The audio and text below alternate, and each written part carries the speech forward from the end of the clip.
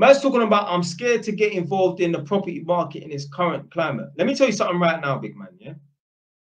Or big gal, could be a gal, it's more than likely a man. The interest rates and that started going up and that.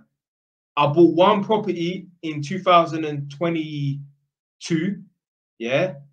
Then the following year, 2023, I bought another property, yeah. And I'm in the process of buying the next property. So basically, during the uncertain climate and that, I'm, I'm, I've almost made free purchases on properties and that. Blood, the point I'm trying to make is buy the fucking property, blood. Because you're going to sit around for two years and wait for the house prices to, to drop or the interest rates to drop and that. Bam, get on the fucking property ladder as soon as possible. You've got the money to do so, don't wait. Don't wait.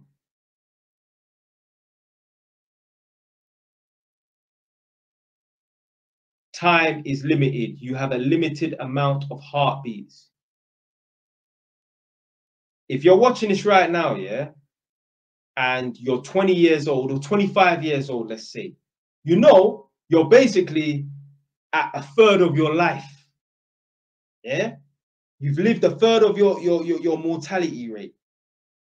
You'll be lucky to get to 75, really and truly and be fit and healthy at 75, not 75 and fucking on your last legs and that, and you need people to wipe your ass and that. 75 and fit and healthy. So if you're 25 years old right now, you've lived a third of your mortality, you've lived a third of your life.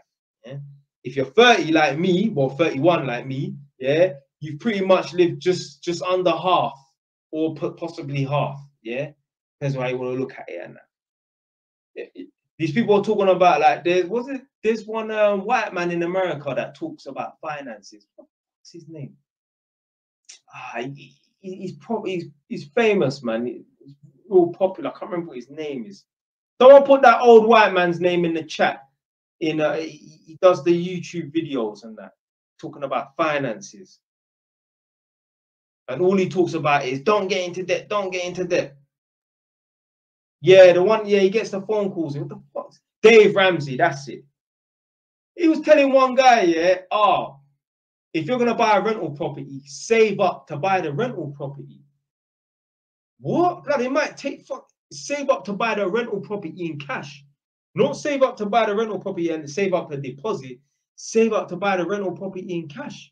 What, 150 grand, 200 grand? That that's okay if we live for a million years. We can fuck about for a hundred years saving up. We don't live for a million years. kind of stupid ass dumbass advice is that? Save up to buy the rental property. No, take out a mortgage. Just make sure you can manage it.